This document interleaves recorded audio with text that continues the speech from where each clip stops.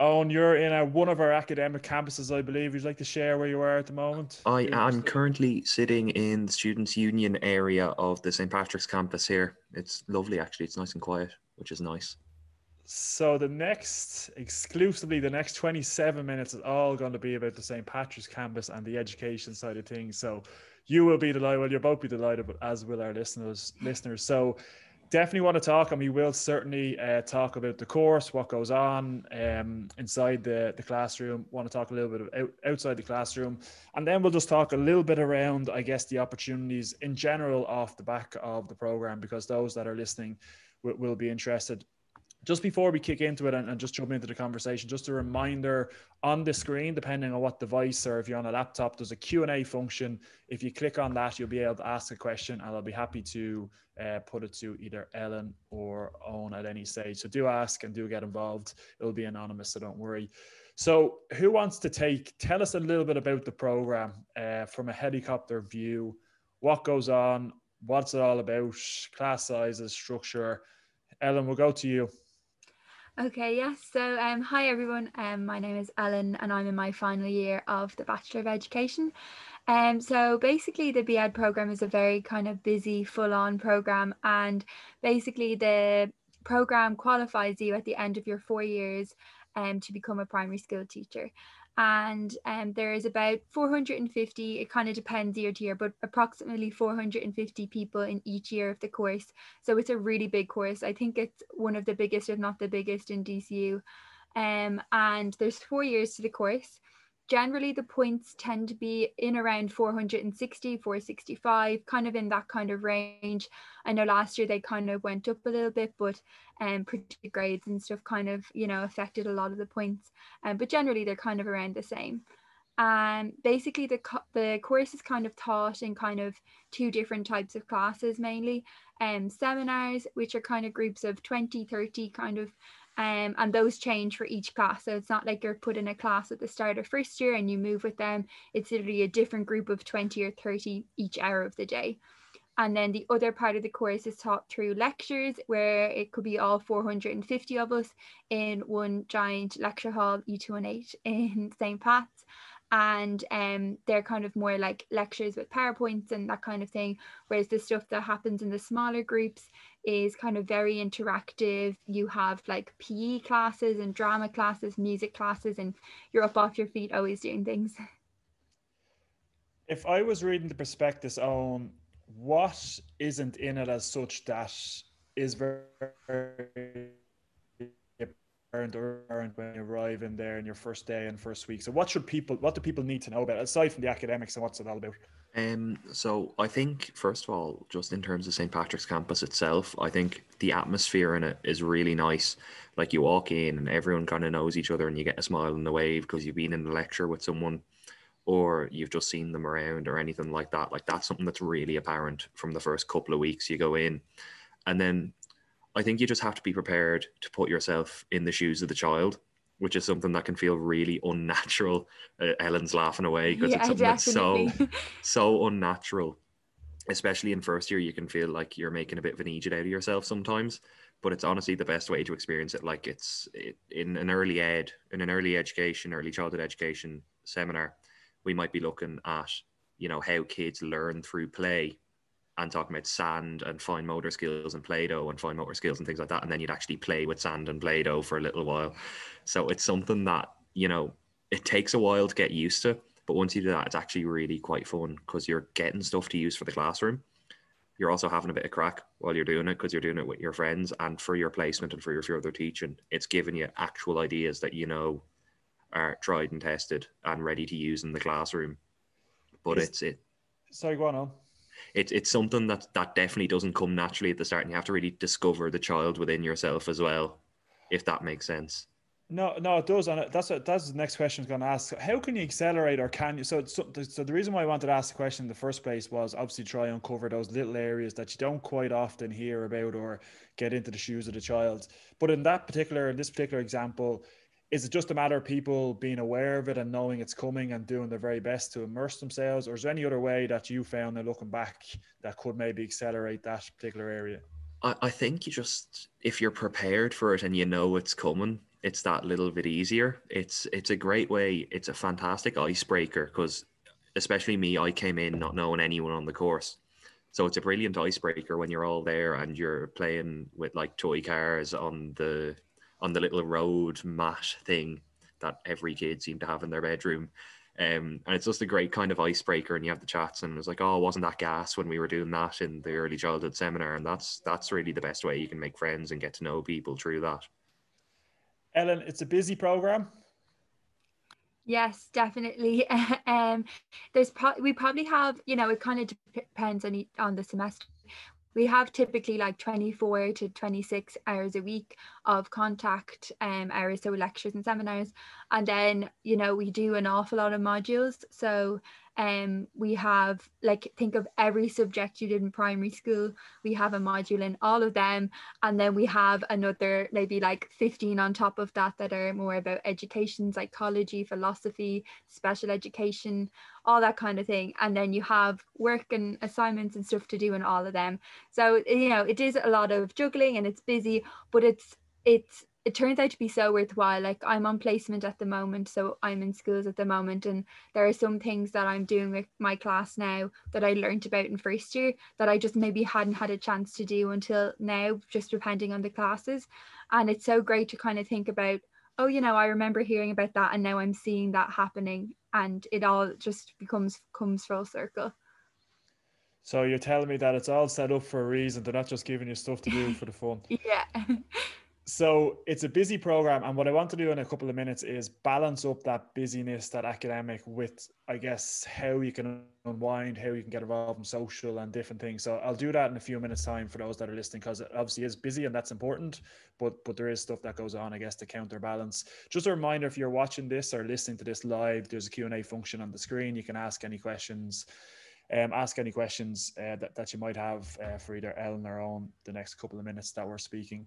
So you know a bit about the program, as in you're looking to go to DCU, you're interested in the space, the career pathway is something that you think, yeah, I could do this. How or where from your journey anyway do you get more information aside from maybe online or what did what did you and maybe Eoin will go to you first what did you do to get more information around your research? Um so in terms of a prospective student? Yeah. Um so I I found actually speaking to students at the open day was a brilliant thing just in terms of actually understanding something from a student perspective because i think you read all this information online and you look at pictures and you look at videos and things like that and doesn't exactly feel personal. Whereas if you get that personal touch in terms of someone's actual experience on the course and if they say look this is what happens um it's not actually that bad because you see you know, someone says 24, 26 hours of contact hours a week, you think that's a lot. But when you talk to students, I found that was the biggest thing. And actually, I know that might not be possible in COVID and everything like that, but actually visiting the campus was a big thing for me, just in terms of knowing where I was going to be and what the facilities would be like, and sort of just the the atmosphere there as well. Like it was it was something really nice to experience. But obviously, with COVID and everything like that, it's a, it's a little bit of a different journey yeah, no, sure, absolutely, and that's understandable. I get, could I just jump in a little bit? So for those that are listening now live or watching this back, so Eoin Ellen, you just do this all the time. When people are interested in coming to DCU, could I talk to a student? And the answer is yes, in terms of what we would offer. I know yourselves, you've probably even done it this week already, but when students reach out, we often put them in direct contact to give you a sense of what the student thinks, pretty much what we're talking about now, what the student thinks, what they do, what they say, how they give their interpretation. So I guess that offer is open and, and, always will be in terms of your your research for DCU. Uh, a question came in there, Ellen. So I might throw this one over to you, but but Eoin, jump in if you want as well. Were you both certain you wanted to be a primary school teacher when you filled out the CAO, Ellen? Um, yeah, so I definitely was certain. I kind of decided when I was a child that I wanted to be a teacher. Um, so I knew that I wanted to do primary school teaching. Now I will say I've had in you know with talking to students in the last few weeks, a few people say, you know, I always thought I wanted to do teaching and now I'm kind of not sure. Now I'm thinking about other things. And I definitely had that too. I was like, oh, you know, I'm really good at biology. Maybe I'm meant to do science. Like, you know what I mean? And I kind of looked into other courses, but for me, it just always came back to teaching. Um, and I did have a few kind of like other courses that were not educated related, like the very bottom of my CAO, but my top was all education. Um, and then I suppose it's a matter of kind of deciding where you want to do it. And one of, in some ways, the easy things about primary school teaching is there is only, I think, four or five places in the country that you can do it. So um, it's not maybe like some degrees where you're like, I couldn't go do this anywhere. So I always just knew I wanted to go to St. Pat's or DCU as it is now part of um, because it's very local to me and I know some teachers who've been there and had great things to say about it. So yeah, CAO, I definitely knew that DCU and teaching was what I wanted. Eoin always wanted to be a teacher. Um, up until the CAO opened, I was absolutely 100% certain that I wanted to be a primary school teacher. And then all of a sudden, it's I got this sort of surge of do I actually want to do this? Do I not? And then as I thought about it more, I sat back and thought about it. I thought this is something I want to do, but it's completely normal. I think between me and Ellen, we've both made it so clear that it's completely normal to have doubts. And if you're not sure, because I, from the moment I was in primary school, wanted to be a primary school teacher. Going through secondary school, I knew I wanted to be a primary school teacher. And then when it came down to actually putting it down on my CAO, all of a sudden something clicked, and I was like, "But do I actually want to do it?" So it's completely normal, but I trust my gut. I trusted my gut, and I I couldn't be happier with where I am now, in terms of the course. I, I, guess one of the things there, and I mentioned a moment ago in a slightly different way, but DCU is always here to guess support people. So, and that is natural, I'm sure, for many people to maybe decide or maybe is this for me or not. So, reaching out and the student recruitment team are always helpful, always on hand and willing to help in, in that regard. So, if I could just summarize where we are, because I want to counterbalance the conversation and try to get into a little bit around outside of the classroom. But you've done your research, you've reached out, you've been to campus, you love the environment and the atmosphere, as we were talking about already. Um, you put yourself in the shoes of the child and you really immerse yourself into that space. You're very busy, loads of contact hours, meeting people all the time, lots of assignments brilliant. But what happens outside the classroom? And if we could try then describe some of the opportunities, you know, club society, student ambassadors. And I guess Ellen, we might go to you first, just in terms of outside the classroom, give people a sense of what goes on and some of the opportunities that are available. Yeah, of course. So um I came into college like very excited. I'd kind of I've always like did loads of after school activities, but I kind of stopped a good few of them, like coming up to the leaving cert and that kind of thing. So I came in like ready to try everything I could try. And um, so I signed up for a bunch of different societies in first year, um, drama, dance, the gymnastics and trampolining and um, there's a teaching society, a few other things as well that some societies I actually never ended up getting too involved in. But um, for me, drama was the one I got the most involved in. And then I also, um, I was a, on the student council in secondary school the whole way up. So I also went for class rep and I was lucky to get that. So um, between the Students' Union, drama, and then also just general events that sometimes are on, like they have a few freshers events in first year. And I was a bit like, oh, I don't know, like it's when the freshers events are on, you're kind of so early into your point in your course that you kind of haven't made necessarily new friends enough to want to go with new people. And like you know it's it be kind of hard to decide like oh am i going to go or not? But i'm so glad that i went to some of them because um you do you, you just it's so good to push yourself and i feel like start off that first week or whatever in september you know pushing yourself a little bit and it'll keep yourself pushed for the rest of the um time there. So yeah there's plenty of club and society opportunities and stuff like that. So um for me it was drama. I did a couple of shows in first year and then i've gone on trips with them and stuff as well. And um yeah no definitely just get get stuck in big, big advice, and it's actually common thread and team throughout all of these in conversation with conversation the last couple of weeks. Get involved, immerse yourself, albeit it can be a challenge and overwhelming and daunting, I guess, in some cases. Eoin anything different? Uh, student ambassador life? Um, anything else we're missing outside the classroom? Um, student ambassador program is something brilliant. I obviously have made, met so many people from so many different courses in DCU, which I maybe wouldn't have had the experience of before because I wouldn't as, be as involved in clubs and societies as other people. So I think that was a brilliant opportunity, and the team have been brilliant the whole way through, just in terms of supporting us in kind of just beyond the student recruitment side of things. So that's been brilliant. Um, and I was also involved as a class rep. I was elected onto our Students' Union executive team in first year as the first year officer for the whole of DCU, which was really daunting at the start, representing that many people. And then I'm actually the chairperson of our class rep council now this year. So even if there's not a club or soc that you find that you really click with and involve, get involved in, there's plenty of other ways of getting involved, like the student ambassador program, as a class rep, anything like like there's plenty beyond the clubs and society. So if someone, for whatever reason, doesn't feel like they've slotted into a club or soc uh, in their first couple of weeks or whatever, there's plenty of other ways of getting involved. Yeah, and I guess one of the things, and a couple of questions are coming in, so thank you. Um, I'm going to get to them now in a second. One of the things, I guess, in terms of accelerating your development in a holistic nature at DCU, and I'm a former student at DCU myself, so I can speak as well in terms of being a student, is I guess the in classroom and the, the world class exposure that you get to the teaching and learning, but also outside the classroom uh, around your leadership communication, as you mentioned there, on getting involved in different committees and giving you, I guess, a broader perspective over across a couple of different areas.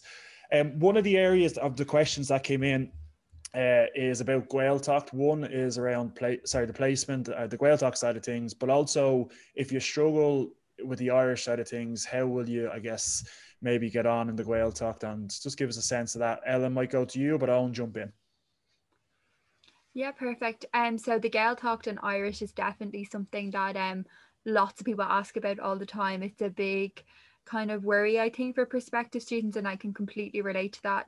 Um, a lot of people think that teachers all went to Gaelscoils and they're all kind of fluent and if unless you're that you can't cope and I the majority are not in that situation.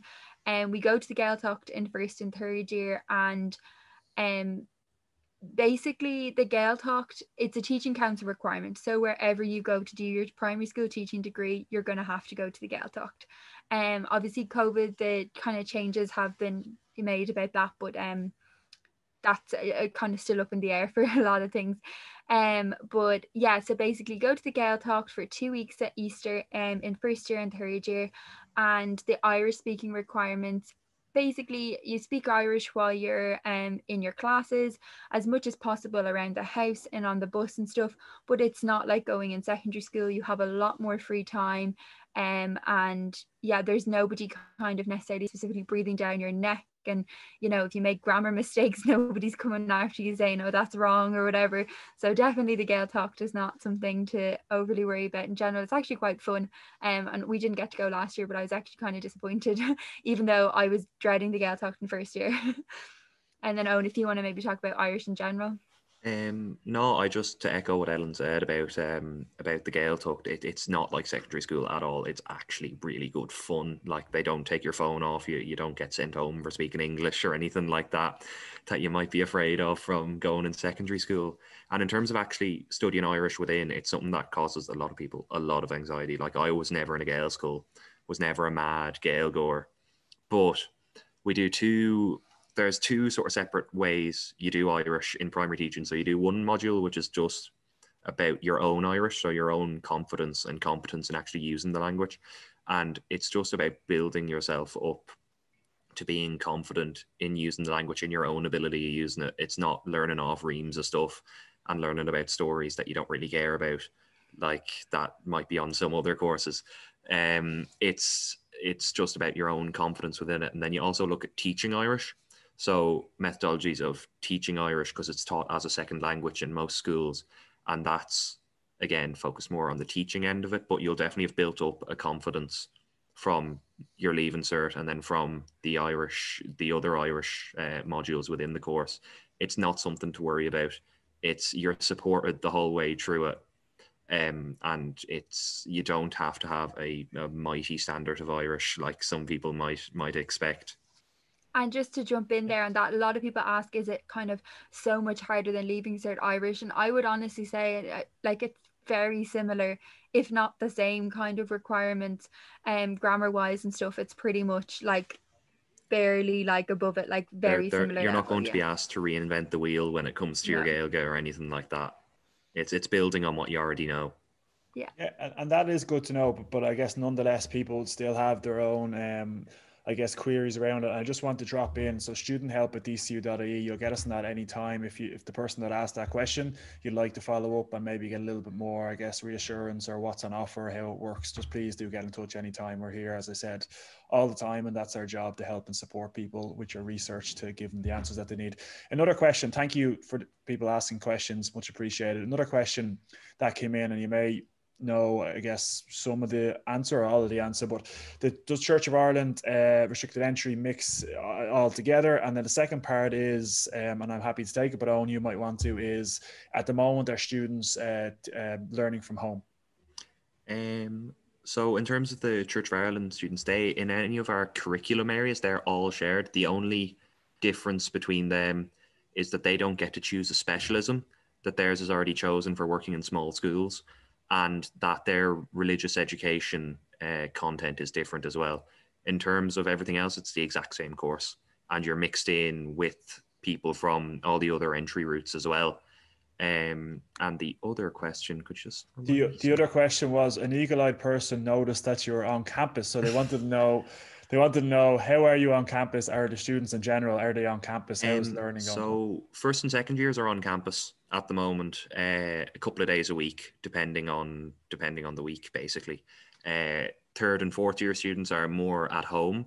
Uh, in terms of being on campus, it's been they've been operating at the highest level of restrictions anyway, even when we were at level three or level two.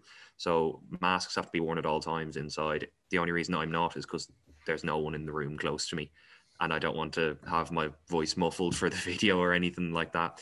There's sanitization stations around the campus, everything like that, and all your classes are fully COVID safe in terms of following guidelines, everything like that. Classrooms are, are spaced out. You have your your two meter bubble around you, everything like that. But a lot of things that may have sometimes been on campus before, like the bigger lectures, might be moved online simply because they can't accommodate the numbers in in that kind of size on campus.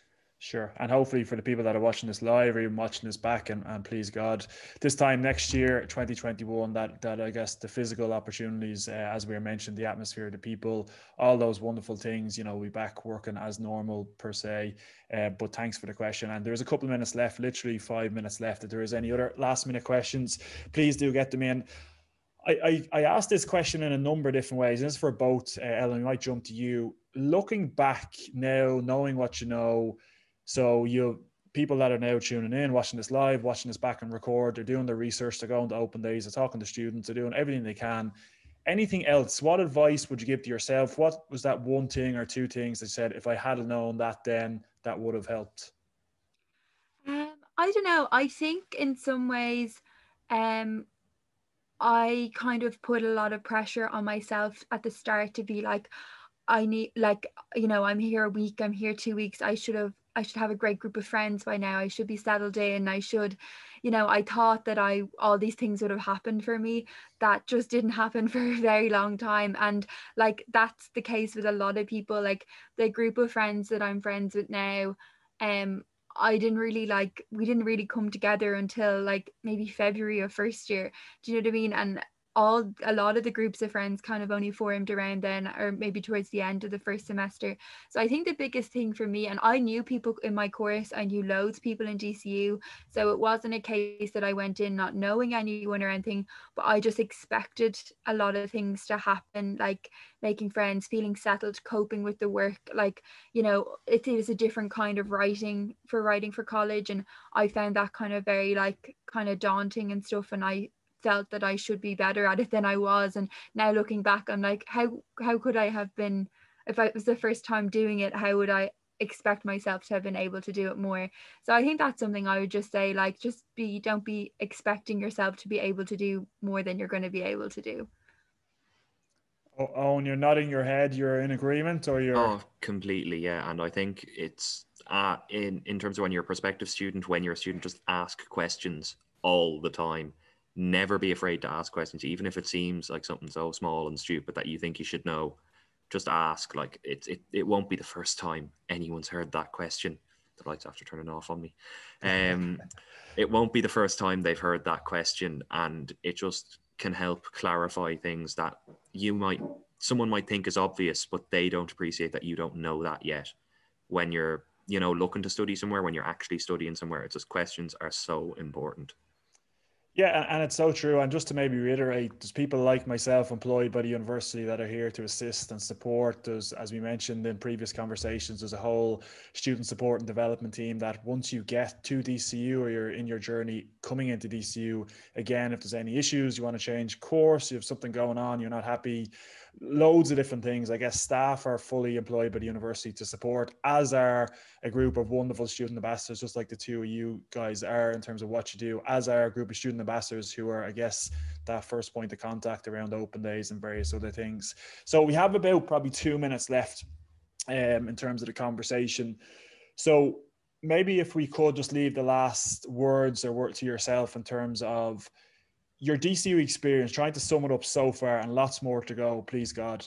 Try to sum up your experience so far. And I know we're putting on the spot a little bit, but just try to, I guess, summarize or whatever way you can what stands out, what's been good for you, how have you enjoyed your time, or what has been the highlights so far. Uh, Ellen. Um, I suppose like some of the highlights for me have just been like the friends I've made, and because of the friends I made, some of the trips I've gone, the places I've been to, like on holidays and stuff. No, nothing like you know, I haven't gone backpacking or anything like crazy or anything, but just things like that, like friends I've made and kind of think things like that that I've really enjoyed. And um, I suppose like being on placement and um that kind of thing like being in the classroom and stuff kind of i think it makes me because i i know i wanted to be a teacher so it makes me kind of happy then when i get to be out in schools and um kind of working as an actual teacher and stuff. They're kind of things that stand out for me and just feeling like a part of something um when you're in a club or society or student ambassadors and um, they're just like, like great feelings that i have from um being part of dcu brilliant to hear. Eoin last word to you I, I think it's it's it's all the little things that add up. I think like I can't put my finger on one thing that's been like a standout moment in DCU or a standout thing about my time in college in general. It's all the little moments and little things you do, like you know, going for coffee with your friends after a lecture, or people you've just met, or sitting beside someone in a lecture who you think I really should know their name, but you don't, and you have to kind of like swallow your pride and ask them or anything like that. It's just all the little moments like that really add up to just have this whole experience in general. It's something kind of really hard to to articulate and explain. Um, yeah, it's just little moments that add up to make an experience it's probably a really fitting way to finish. Um, and we have a couple of seconds left, so thanks for everybody tuned in. But I guess all those little moments, um, as you put it there, is something. It's like a layered approach. You're getting your your teaching over here. You're meeting your friends over here. You're getting your social opportunities over here. There's obviously a career at the end of it all, um, and I guess just the experiences in general, and just I guess every way you turn uh, from the St. Patrick's campus uh, um, that, that you guys are, are, on from the, up to Glasnevin campus and, and, across to our other sports campuses, the other campuses that we have. I guess there's so many opportunities. So uh, DCU, uh, um, needless to say, is very lucky to have you both. Uh, as always, thanks for your time. Thanks for your insights, your attention um, around just helping others, giving back, uh, not only in ways like this, but also, as I mentioned earlier on, you can contact any one of you um, and anyone in the student ambassador team 24 7, literally, and you get a response in terms of the the, the personalized kind of touch and feel that I guess we all would have in many different ways having come through DCU and currently in DCU um, in terms of our, our journeys, um, both as staff and students. So really just say thank you on behalf of everybody watching live. Um, you're watching this back recorded. You get us anytime on student help at DCU.a. Hopefully we'll see both um, of you very, very soon. Thanks, Johnny. No Thanks, Johnny. Thanks, everyone.